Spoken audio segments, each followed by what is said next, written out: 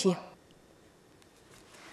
Rèn bình đồng ra sắt, tinh thông võ thuật, sử dụng thành thạo các loại vũ khí trang bị, nắm chắc và vận dụng linh hoạt kỹ thuật chiến đấu là yêu cầu nhiệm vụ đối với mỗi cán bộ, chiến đấu viên tiểu đoàn đặc công 41 Bộ Tham mưu Quân khu 3.